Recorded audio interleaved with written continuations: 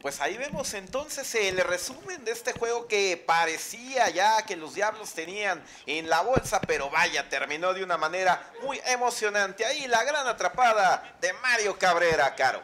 Tremendo, hablando acerca de estas joyas, lo mencionaba el señor Miguel Ojeda, de estas joyas que encontramos en esta invernal mexicana, Mario Cabrera, eh, respecto a los guardabosques de, los bélicos, don Roberto Carlos Méndez, también el propio José Cervantes, creo que tienen muchísimo talento. La cuestión de Luis Liera también me quedo muchísimo con ello.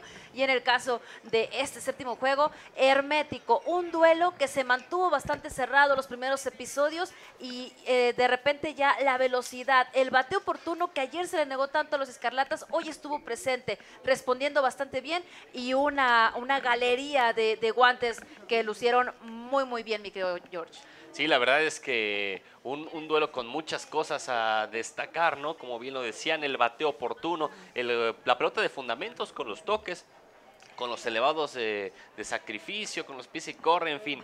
Hoy le salieron las cosas al México y me parece que fue pues una forma ah, muy muy digna de despedirse. Ya lo decía Miguel Ojeda, a fin de cuentas nos vamos con ese sabor agridulce porque no llegamos al, objetivo, sin embargo pues hoy se, se despidió la gente también de un, de un equipo que dejó todo en el terreno y que a fin de cuentas se reflejó en una victoria. Un juego parejo hasta la sexta entrada, los Diablos después abrieron camino vemos ahí la entrega, el Pundonor, después Oaxaca en la novena entrada eh, reaccionando. Lo cierto, Caro, es que nadie salió defraudado en general. Desde, desde el inicio hasta el día de hoy, hasta este juego, estos muchachos se brindaron, los rivales también enaltecieron la pelota y creo que Liga Invernal Mexicana 2021 cumplió con su cometido una vez más. Todavía falta definir al campeón, evidentemente, pero para los Diablos ha sido todo. Creo que acabas de decir una palabra clave, enaltecer la pelota. Y mientras seguimos viendo aquí el, resumen de, las acciones en este encuentro,